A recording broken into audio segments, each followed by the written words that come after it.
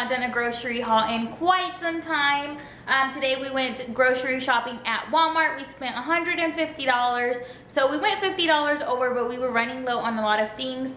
Um, and we did get household things as well. So this is for groceries and the household things that we needed. So I'm gonna go ahead and get started.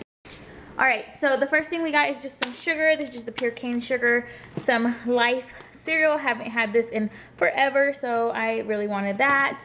Um, some blueberry muffins, some of the Great Value oven ready lasagna. Chris is obsessed with these Belvita soft baked um, breakfast bars. They keep him full from breakfast till lunch, so he really likes these. So we got him some of those for work.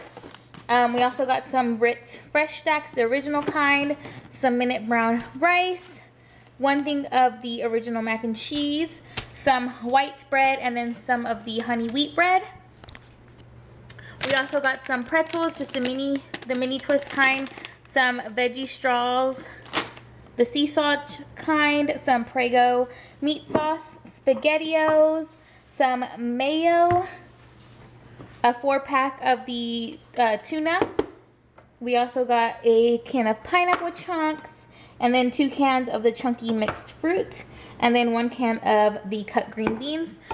As far as frozen stuff, we got a five pound bag of boneless skinless chicken breast, a pizza, this is just a Red Baron brick oven pizza, uh, pepperoni pizza, some mixed fruits for smoothies, a pound of ground lean ground beef, the all natural kind, some broccoli, and one of these uh, Pepperidge Farm garlic bread. We also got some um, salad. This is just the Marketside romaine, premium romaine salad. So we got a big bag of that. Some bananas. This is some coleslaw. Um, yeah, some coleslaw. We got some limes, two cucumbers, a bag of apples, some baby carrots, some smoked bacon, and some of the Deli Fresh smoked turkey breast. Classic pickles, these are just the kosher dill pickles. Mozzarella cheese, some of these cheese heads swirls, some daisy sour cream, a gallon of milk, some French vanilla coffee creamer, and a thing of apple juice. And then there's Adeline and then as far as household stuff, I needed some makeup. So I this is the kind of like, and it is amazing. Um, it's the L'Oreal Infallible Pro Matte Makeup. It works amazing. So this is my favorite kind. Um, we also got some of the Ziploc or some great is a value zipper um, snack bags.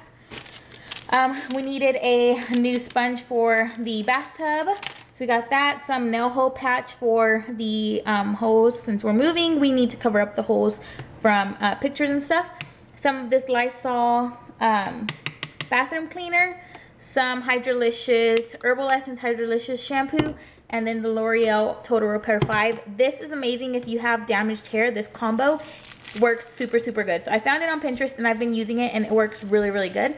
So I really recommend that and they're cheap. Um, some paper plates.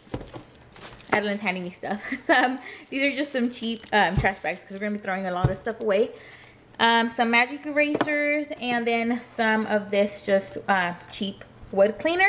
And then down here we have some Nestea. This is a 12 pack of iced tea. And then some water. And then Adeline is standing on the toilet paper.